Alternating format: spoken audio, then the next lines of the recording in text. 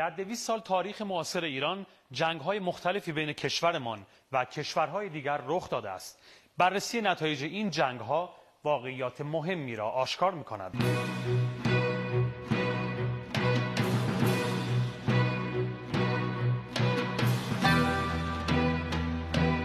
با به قدرت رسیدن دودمان قاجار جنگ های تقریبا مستمری میان ایران و روسیه شکل گرفت. گنجه. جنگ هایی که خصوصا دو دوره اصلی بین سالهای 1218 تا 1228 هجری و همچنین بین سالهای 1241 تا 1243 هجری در جریان بود. این جنگ ها نتایج فاجعه آمیزی برای ایران در پی داشت و به اشغال و جدایی بخش های بزرگی از شمال غرب ایران توسط روسیه انجامید. نقشه های ایران پیش و پس از قاجاریه نشان از تجزیه بخش های متعددی از ایران دارد. بخش هایی که به ویژه در دوران طولانی 37 ساله حکومت فتلیشای قاجار پس از جنگ های پردامنه ایران و روسیه از ایران جدا شدند به بیش از 273 هزار کیلومتر مربع می‌رسد و در دوران بلند مدت حدوداً 50 ساله حکومت ناصرالدین شاه قاجار نیز جدایی بیش از 2 میلیون و 196 هزار و 500 کیلومتر مربع از سرزمین های تاریخی ایرانیان به وقوع پیوست. در طول جنگ های قاجار با روسها قهرمانانی نامدار هم در مقابل متجاوزان ایستادهاند.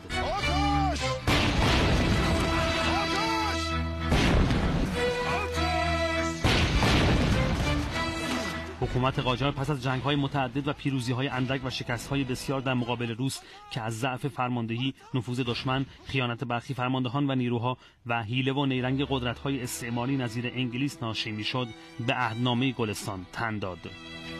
با وساطت انگلستان اهنامه صلح گلستان میان دولتین ایران و روسیه در 29 شوال 1228 هجری قمری مصادف با 12 اکتبر 1813 میلادی در چمن گلستان قراباغ منعقد گردید. به موجب این قرارداد ولایات قراباغ، گنجه، شکی، شیروان، دربند، بادکوبه، داغستان و گرجستان و تمام نواحی شمال رود عرس به امپراتوری روسیه واگذار می شود.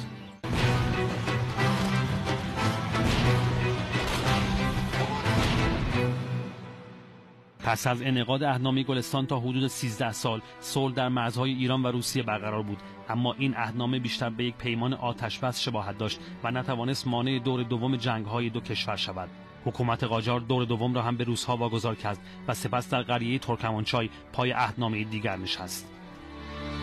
قریه ترکمانچای 1243 پس از هجرت. پادشاه ایران کل الکای نخچوان و ایروان که خواه این طرف رود عرس خواه آن طرف قرار گرفته باشد به دولت امپراتوری روسیه واگذار می کند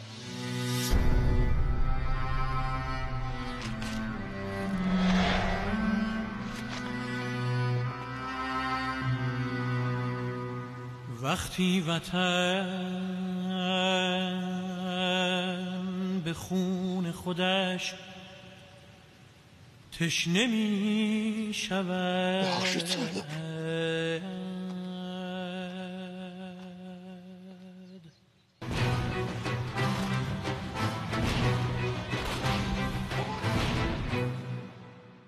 بسیاری بر این باورند که قراردادهای گلستان و ترکمانچای ننگینترین قراردادهای تعمیل شده به ایران پس از شکست در دوران قاجار بوده است با این حال ایران در قرارداد آخال که در دوران ناصرالدین شاه با روسیه بسته می شود سرزمین ها و موقعیت های ممتازی را از دست می دهد. این پیمان که دارای چهار محور بود با امضای معتمن الملک وزیر خارجه ایران و طرف روسی در 23 آذر سال 1260 هجری شمسی به صورت رسمی به اجرا درآمد. در خصوص پیمان آخال یک نکته قابل ذکر وجود دارد و آن هم تأثیر انگلیس در انعقاد آن است. در آن زمان کشمکش انگلیس و روسیه بر سر مستعمرات فرو کاسته بود و انگلیس این امکان را به روسیه داد که تا حد ممکن در منطقه قفقاز پیشروی کند و توجهش از هند برداشته شود. این در حالی بود که ناصرالدین شاه در تصور کمک انگلیس به خودش بود. در دوران قاجار ایران و عثمانی نیز درگیر منازعات مختلف بودند. در دوره فتلیشای قاجار وقوع حوادثی تلخ دو کشور را به تقابل با هم واداشت. این درگیری در نهایت با عقد قرارداد ارزنت روم اول به سال 1238 هجری فروکش کرد. ادامه اختلافات و درگیری ها تدوین قرارداد ارزنت روم دوم را در سال 1263 هجری و در زمان حکومت محمد شاه قاجار موجب شد.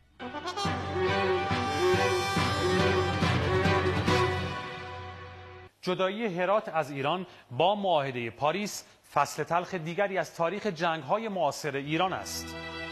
نام میرزا ابو طالب فرخ قفاری ملقب به امین دوله یکی از رجال شهیر عصر ناصرالدین شاه قاجار در تاریخ با جدایی هرات از ایران همراه است.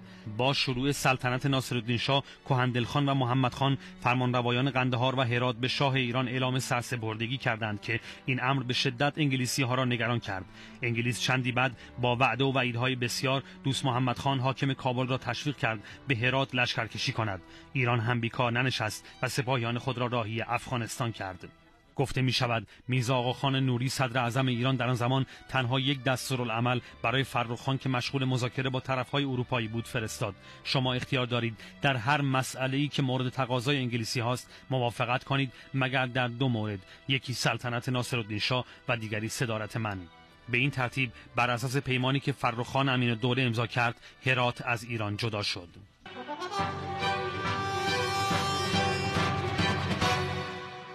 در دوران پهلوی نیز ایران شاهد حضور تحقیرآمیز نظامیان خارجی در مناطق مختلف کشور است.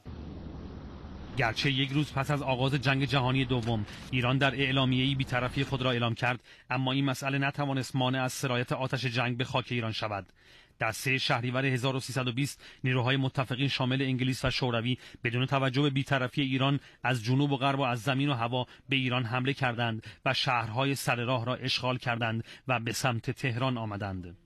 با یورش متفقین. تمام راههای کشور به خصوص خطوط راهن و شوسه تحت کنترل نیروهای اشغالگر درآمد و نیروی کار ایرانی برای تهیه تدارکات ارتشهای درگیر در جنگ با نازلترین دستمزد به کار گرفته شدند. منابع نفتی کشور غارت شد و بحران غذایی و قحطی در کشور به اوج خود رسید.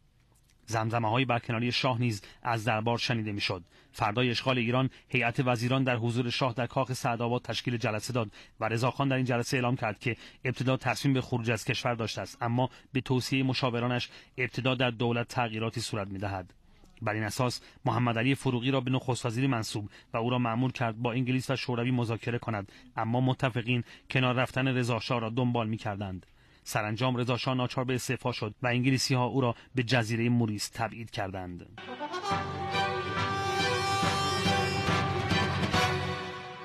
تاریخ همچنان جدا شدن بخشهایی از سرزمین ایران را روایت می کند اما این بار در دوره پهلوی دوم و جدا شدن بحرین. تا پیش از ظهور محمد رضای دیکتاتور از مرداد 32 به بعد و حتی در دوران نخست وزیری محمد مصدق هم سخن خاصی از بحرین به میان نیامد. در این دوران شاید تقاضای آیت الله کاشانی از دولت مصدق برای ملی کردن نفت جزیره بحرین از معدود اشاره ها بر حق حاکمیت ایران بر این منطقه ولو به صورت تلویحی است. از آن زمان به بعد نخستین اتفاق مهمی که در قضیه بحرین رخ داد مصوبه مجلس شورای ملی در سال 1336 بود که بحرین را به عنوان چهاردهمین استان ایران به رسمیت شناخت. هنگامی که انگلستان قصد خروج از خلیج فارس کرد طرح تشکیل اتحادیه متشکل از قطر بحرین و هفت امیرنشین سواحل خلیج فارس را ارائه کرد. محمد رضا پهلوی در دهلی نو با دادن چراغ سبز به انگلیسی ها گفت حاضر است به رأی مردم بحرین احترام بگذارد. به این ترتیب روند نزولی مواضع ایران در قضیه بحرین آغاز شد. امید است روشی که بر اساس اصول منشور ملل متحد و مبانی منطقی و دنیا پسند برای حل این مشکل اختیار شده از جهت تحصیل آزادانه نظرات و کشف نیات واقعی اهالی بحرین به نتیجه رسیده و آثار معنوی این اقدام دولت شاهنشاهی در تحقق هدفهای عالی ایران که همان حفظ امنیت و ثبات منطقه خلیج فارس باشد متسلی گردد. روزنامه ها که تا آن زمان سعی می‌کردند حق تاریخی ایران در بحرین را اثبات کنند مقاله نویسی درباره کم اهمیت جلوه دادن بحرین را شروع کردند و سرانجام جدایی بحرین را از ایران خواسته مردم این جزیره نامیدند. از همان روزهای نخست جدایی بحرین از ایران شاه و دوستدارانش می‌دانستند که مردم اندوهگینند چرا که خاطره ترکمانچای برایشان زنده شده بود. اسدالله علم در یادداشتهایش می نویسد که برای رفع دلنگرانی شاه از قضاوت تاریخ و مردم ایران به او گفتم که با این کار اتفاقا خدمت بزرگی هم به ایران کرده و آن خدمت حفظ روابط دوستانه با اعراب است. اتومبیل حامل شیخ عیسی بن سلمان آل خلیفه امیر بحرین در حالی که پرچم بحرین در سمت راستش در احتزازه. به تخت جمشید رسید. حضرت امیر بحرین از اتومبیل پیاده شدند با شاهنشاه ایران دست دادند.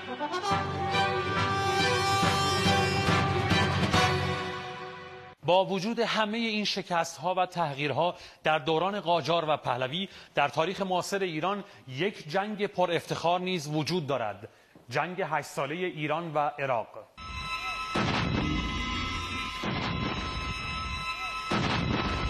در سی یک شهریور ماه سال 1359 رژیم بعث عراق با حمایت کشورهای غربی شرقی و عربی به خاک ایران یورش برد.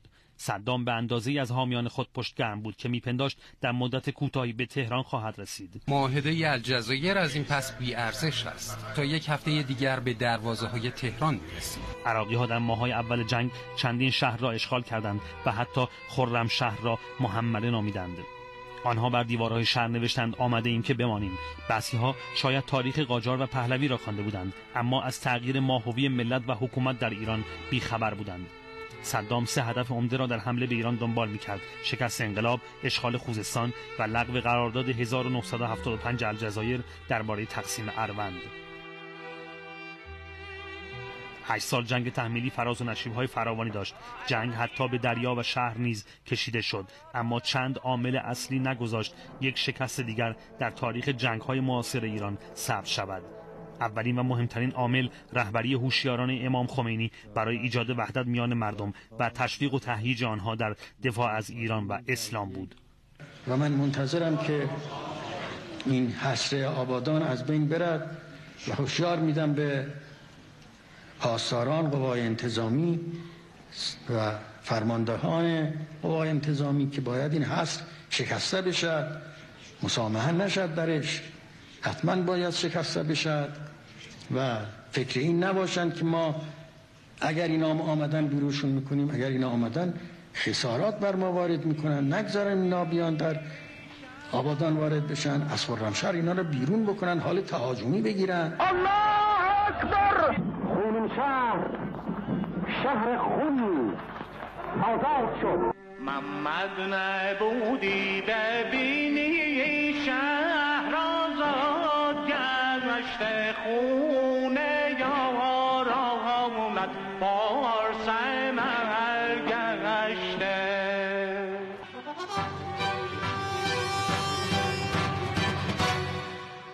عامل دوم در پیروزی در جنگ تحمیلی تلفیق مبانی اسلامی و انقلابی از جمله شهادت طلبی و شجاعت و ایثار با مبانی فرهنگی و ملی از جمله غیرت و وطن پرستی بود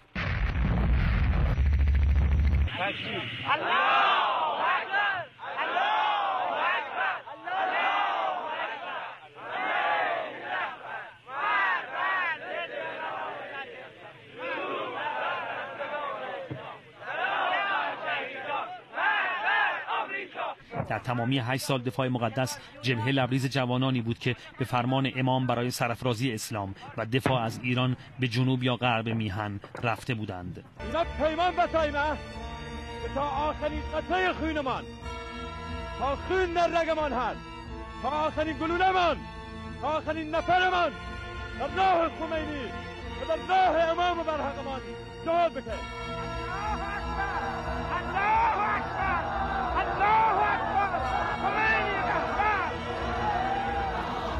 بسیجی ما چیکاره بودین قبلا؟ ساعت ساز ما ساعت سازی؟ بله چطور شد اومدین؟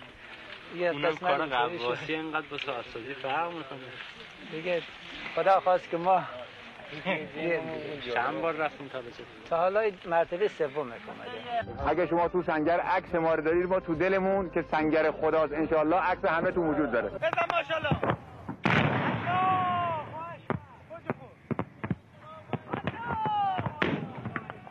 معنای همه دود و اینا که می‌بینی؟ مال تانکاشا صد تا تانک سوخته باشه. سه بارم تا حمله کردن و ادوار عقب نشینی کردن.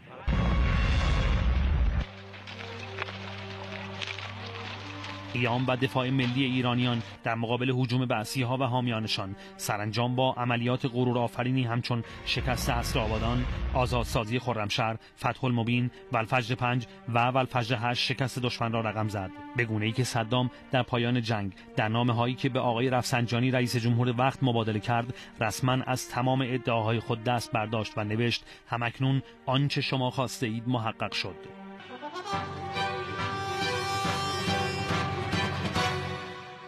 در جنگ عراق با ایران برخلاف جنگ های دویست سال اخیر حتی یک وجب از خاک میهن عزیز در اشغال نماند و جدا نشد. این واقعیت را ملت ایران و تاریخ کشورمان هیچگاه از یاد نمی‌برد.